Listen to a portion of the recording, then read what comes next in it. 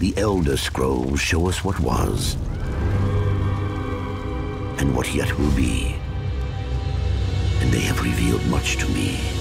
Spare us your stories, old man, unless they can sharpen spears. Our war chief is dying. Our enemies are massing for another attack. We must prepare for battle. We should go, Kellen. We have the scroll we came for. And this one smells blood in the wind. Patience, Nog. I have words yet to speak here. Stories can do surprising things, Spear Maiden, whether they are true or not. And this is one you should hear. It comes from the Great War that nearly ended the Empire.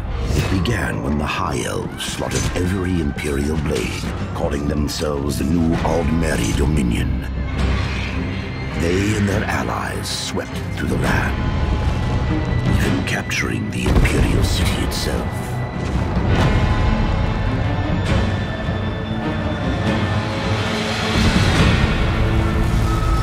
Emperor fled north, leaving Cyrodiil to the invaders.